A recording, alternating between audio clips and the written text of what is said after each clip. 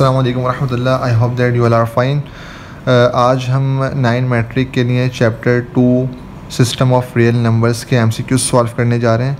Last time हमने chapter one के कर लिए थे। और uh, ये M C Qs two thousand nineteen से लेके टू थाउज़ेंड टेन तक के अंदर जो टेन ईयर्स के एम सी क्यूज़ हैं उसमें सारे एक साथ जमा करके आपसे शेयर करने जा रहा हूँ। तो इसे गौर से देखिएगा। 2019 के अंदर जो वो आया कि if x is equal to two plus under root five then x square is कह रहे हैं, भाई, अगर एक्स की वैल्यू ये है तो एक्स स्क्वायर की क्या होगी? तो आसान सी बात है एक्स के ऊपर स्क्वायर है तो हम इसके ऊपर भी क्या कर लेंगे? स्क्वायर कर लेंगे। एक्स की वैल्यू के ऊपर भी हम स्क्वायर कर लेंगे। ठीक है जी? तो एक्स है हमारे पास two plus under root five इसकी मुझे स्क्वायरिंग करनी है। ठीक है? अच्छा मुझे पता है कि अगर दो वैल्यूज़ हैं उनके बिटवीन पॉजिटिव या नेगेटिव साइन है और होल पावर स्क्वायर लगी हुई है तो वो बरा, बराबर होता है इस फॉर्मूले के। ए प्लस बी का होल स्क्वायर बराबर है A square plus two A B plus B square के। ठीक है जी? यहाँ पे ए कौन है? टू और बी कौन है? अंडर रूट फाइव तो वैल्यूज़ पुट कर देते हैं यहाँ पर हम। ए की जगह पे आ जाएगा टू टू के ऊपर स्क्वायर है तो स्क्वायर लगा दिया प्लस फॉर्मूले का टू एज इट इज़ आ गया। ए की वैल्यू है टू और बी की है under root five plus B का मतलब है अंडर रूट फाइव उसके ऊपर स्क्वायर है तो इसके ऊपर स्क्वायर लगा देंगे। इसको सॉल्व कर लेंगे टू टू ज़ा फोर हो जाएगा प्लस टू टू ज़ा four under root five plus अच्छा रूट से स्क्वायर कैंसिल आउट हो जाता है, यहाँ बच जाएगा फाइव ठीक है। ये फोर और फाइव ऐड हो जाएँगे नाइन हो जाएगा। Plus four under root five चूँकि यहाँ अंडर रूट फाइव है और यहाँ पर नहीं है तो इसलिए ऐड नहीं हो सकते तो ये ऑप्शन होगा। तो nine plus four under root five ये जो है वो, ये C is the right answer ठीक है? आगे चलते हैं। 2018 के अंदर भी आया 14 में भी आया कि 8 की जो पावर है वन अपॉइंट थ्री है और 36 की हाफ़ है। तो सॉल्व करेंगे तो क्या होगा? इन क्वेश्चंस के अंदर हमने पावर का जो डिनोमिनेटर है, यानी कि यहाँ पे थ्री और यहाँ पे टू इसको कैंसिल आउट करना है किसी तरीके से। उसके लिए मुझे ऐड के फैक्टर्स बनाने पड़ेंगे या थर्टी सिक्स के बनाने पड़ेंगे। इसको देखें ज़रा। एट के फैक्टर्स जो है वो एट के फैक्टर्स क्या होंगे? Two multiply by two multiply by two और पावर क्या लगेगी? वन अपॉन थ्री ठीक है? और थर्टी सिक्स के फैक्टर्स क्या होंगे? सिक्स सिक्स ज़ा thirty six one upon two बस पावर जो होगी, उसके हिसाब से आपके नंबर आने चाहिए। कितने टूज़ हैं? वन टू थ्री तो ये आ जाएगा टू की power three one upon three कितने सिक्स हैं? टू हैं सिक्स की power two multiply one upon two ये अंदर की पावर बाहर की पावर से कैंसिल आउट हो जाएगी। ठीक है? यहाँ बच जाएगा टू की पावर वन का मतलब टू ही होगा। सिक्स पावर का मतलब सिक्स ही होगा। Two six twelve twelve is the right answer तो section C is the right answer 2018 के अंदर हम देखते हैं कि if N if N under root x is equal to y then the value of radicand x is तो इस x की वैल्यू क्या होगी? ठीक है, मुझे इस एक्स की वैल्यू को निकालना है। तो इसके जो है वो जो रूट के अंदर वैल्यू थी, उसको रेडिकेंड कहते हैं। तो यहाँ पे रेडिकेंड एक्स है तो इस एक्स की वैल्यू निकालनी है। तो बहुत सिंपल है। इसके लिए हम क्या करेंगे? पहले तो इस रेडिकल को ख़त्म करके जो इंडेक्स दिया हुआ है एन इसको हम लिख लेंगे। यहाँ जो भी होगा वो वन अपॉन करके आ जाएगा तो एक्स वन अपॉन एन अगर ये टू होगा तो वन अपॉन टू रेडिकल हट जाएगा। इज़ इक्वल टू वाई तो मुझे एक्स की वैल्यू चाहिए, यहाँ पे हर्डल बन रहा था, ये वाला एन इस एन को ख़त्म करने की मैंने क्या कि बोथ साइड पे एन से मल्टीप्लाई करा दिया। होगा कि ये वाला एन इससे कैंसिल आउट हो जाएगा, यहाँ बजेगा एक्स वन और एक्स वन का मतलब एक्स ही होता है, बराबर है वाई एन के। तो x की वैल्यू क्या आ गई? वाई एन एक्स की वैल्यू हो गई वाई एन ठीक है जी? उसके बाद टू फिफ्टीन के अंदर देखिए the square root of A minus B का होल स्क्वायर इज़ ठीक है, ये क्या होगा? तो सीधी सी बात है कि भाई अगर ये है तो इसके हम क्या करेंगे? A the square root of इसका स्क्वायर रूट क्या होगा? यानी कि ये यूँ है। स्क्वायर रूट का मतलब क्या है? ये स्क्वायर रूट आ गया और वैल्यू है वापस ए माइनस बी का होल स्क्वायर ठीक है? इज़ इक्वल टू ये बराबर है किसके?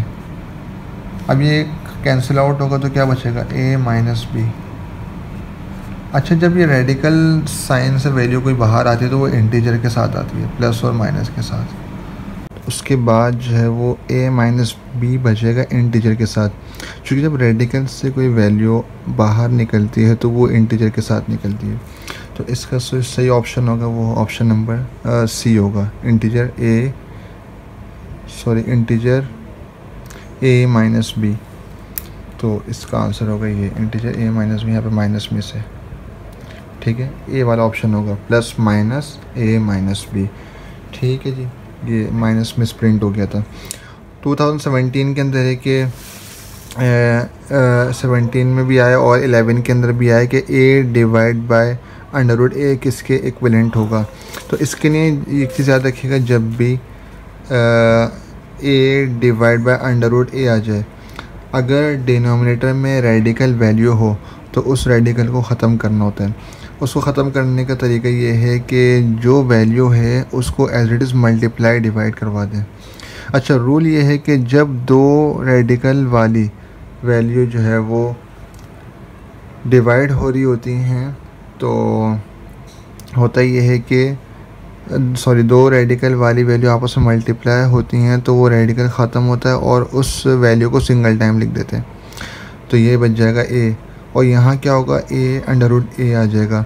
ए से ए कैंसिल आउट होगा तो रेडिकल ए बच जाएगा। तो C is the correct option radical A और शॉर्ट में ये है कि A divide by radical A है ना? तो जो डिनोमिनेटर में होगा, वही वाला आंसर होगा। ठीक है? तो ये आंसर हो गया। सिक्स के अंदर देखें two M C Q number six से सेवनटीन में भी आया है टू थाउज़ेंड ट्वेल्व के अंदर भी आया कि four multiply five raise to power zero मैंने आपको बताया था किसी भी बेस की पावर अगर ज़ीरो हो तो वो वन के इक्विलेंट होता है। तो five raise to the power zero one के इक्विलेंट होगा। तो फोर वन ज़ा फोर तो A is the right answer four उसके बाद सेवन के अंदर ये है कि सेवन हम्म, के अंदर है कि five under root forty three is equal to five is called dash यानी कि ये कह रहे हैं कि इसके अंदर जो ये रेडिकल फाइव है, ये क्या कहलाएगा?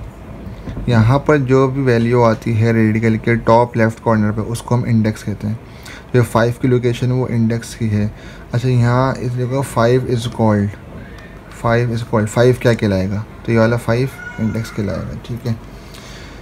अच्छा जी सिक्सटीन के अंदर देखते हैं कि कह रहे हैं कि minus one into minus one power five whole power zero ये किसके इक्वलेंट होती है? कि अगर किसी बेस की अगर बेस नेगेटिव है बेस कैसी है नेगेटिव और पावर ऑड है तो वो सॉल्व करने वैल्यू आती है माइनस वन ठीक है? यानी कि बेस नेगेटिव है पावर ऑड सॉल्व करने वैल्यू आएगी नेगेटिव और अगर बेस पॉजिटिव है बेस नेगेटिव है पावर इवन है तो सॉल्व करने वैल्यू आएगी पॉजिटिव तो ये minus one five time solve करेंगे तो माइनस वन आ जाएगा. तो ये वाला माइनस वन मल्टीप्लाई ये वाला माइनस वन ठीक है? ब्रैकेट पे लगा पावर ज़ीरो ठीक है जी? माइनस वन ये वाला माइनस वन की पावर फाइव को सॉल्व करो तो क्या आएगा? माइनस वन ही आएगा, ठीक है? माइनस फाइव फाइव टाइम्स कर लें माइनस वन आएगा. Minus minus plus minus minus क्या हो जाएगा? प्लस हो जाएगा वन की पावर क्या बची? ज़ीरो और वन की पावर ज़ीरो बची का मतलब क्या है? इसमें आसान सी बात है कि अगर कितनी ही बड़ी वैल्यू आ जाए, अगर पावर ज़ीरो है, अगर पावर मेन पावर ज़ीरो है होल पावर ज़ीरो है तो आंसर वन ही आएगा। अच्छा जी नाइन के अंदर है कि if under root x is equal to nine then x under root x is equal to nine है तो एक्स की वैल्यू क्या होगी? तो सिंपल सी बात है कि रेडिकल साइन को ख़त्म करने की स्क्वायरिंग करते हैं। बोथ साइड में स्क्वायरिंग की रूट से स्क्वायरिंग कैंसिल आउट हो गई एक्स बच गया is equal to nine two times है नाइन नाइन से एटी वन तो इसका आंसर है सी एटी वन टेन के अंदर देखते हैं। टू थाउज़ेंड फिफ्टीन के अंदर ये आया था कि y under y under root x comma y is called dash तो मैंने आपको बताया था कि यहाँ रेडिकल साइन के टॉप लेफ़्ट कॉर्नर पे जो चीज़ होती है, वो उसको इंडेक्स कहते हैं। ठीक है? तो वाई की लोकेशन इंडेक्स की जगह पर है। 2013 के अंदर है कि वन अपॉइंट टू की जो पावर है माइनस थ्री है। तो ये क्या होगा? असल में पहली चीज़ ये है कि पावर को पॉजिटिव बनाना है। वन अपॉइंट टू है ना? तो इसका मतलब ये है कि वन अपॉइंट टू की पावर है माइनस थ्री ठीक है? इस पावर को पॉजिटिव करना है। पावर पॉजिटिव कैसे होगी? जो बेस है, इसका रेसिप्रोकल कर लो पावर खुद पॉजिटिव हो जाएगी। तो वन अपॉइंट टू का रेसिप रेसिप्रोकल अगर टू अपॉन वन और नीचे वन लिखते नहीं है तो समझ लो टू तो ये पावर ऑटोमेटिक पॉजिटिव हो जाएगी। टू की पावर थ्री टू है three times two multiply by two multiply by two two two the four four two the eight eight is the right answer ठीक है? टू थाउज़ेंड इलेवन के अंदर देखें तो माइनस वन उसके अंदर minus one power five is equal to two एक चीज़ याद रखिएगा, अगर बेस नेगेटिव है, अगर बेस कैसे नेगेटिव माइनस आ रहा है। और उस पर पावर है ऑड उस पर पावर लगी हुई है ऑड तो ये बराबर होगा सॉल्व करने में वैल्यू आएगी नेगेटिव यानी कि माइनस वन फाइव टाइम्स है। तो इसको अगर हम सॉल्व करेंगे तो माइनस वन ही आएगा। माइनस वन फाइव टाइप करें तो माइनस वन आ जाएगा। ठीक है? तो बेस नेगेटिव पावर ऑड हो तो सॉल्व करने में वैल्यू नेगेटिव आती है। बेस नेगेटिव पावर इवन है तो सॉल्व करने में वैल्यू पॉजिटिव आती है। तो माइनस वन आ गया, और उसके बाद फिर है माइनस वन तो ये पूरा बराबर हो गया किसके माइनस वन के। माइनस वन और ये वाला माइनस वन इसी के बराबर है, और इसके पावर है टू माइनस माइनस कितना होगा? प्लस होगा प्लस वन प्लस वन के पावर हो गया two one two times one one सा वन तो इसका आंसर आएगा वन। ठीक है जी? 2010 के अंदर है कि 64 के वो पावर है वन अपॉन सिक्स तो ये किसके बराबर होगा? तो 64 को यहाँ पर एम से एल सी एम ले लेंगे। टू थ्री ज़ा सिक्स टू टू ज़ा फोर टू वन ज़ा टू टू सिक्स ज़ा ट्वेल्व टू एट ज़ा सिक्सटीन टू फोर ज़ा एट टू टू ज़ा फोर टू वन ज़ा two one two three four five six sixty four बराबर है। सिक्सटी फोर क्या मैं लिख सकता हूँ? टू की पावर सिक्स और बाहर है वन अपॉन सिक्स। तो इस सिक्स से, इस सिक्स कैंसिल आउट हो गया। टू की पावर वन बची जो बराबर होती है टू के। तो इसका आंसर होगा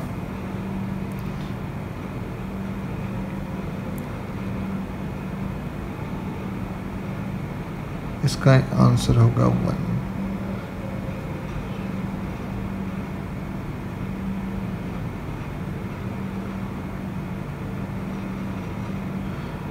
इसका आंसर होगा टू। तो ये इसमें कोई भी ऑप्शन नहीं है। Two is the right answer इसका आंसर होगा टू। ठीक है जी? तो ये वो ऑप्शन लिखने में रह गया। तो sixty four one upon six बराबर है टू के। तो यहाँ तक चैप्टर टू के एम कंप्लीट हुए। तो कोई क्वेश्चन हो, कोई प्रॉब्लम तो कमेंट में आप हमसे शेयर कर सकते हैं। इन नेक्स्ट वीडियो मिलेंगे। अब तक के लिए अल्लाह हाफिज़।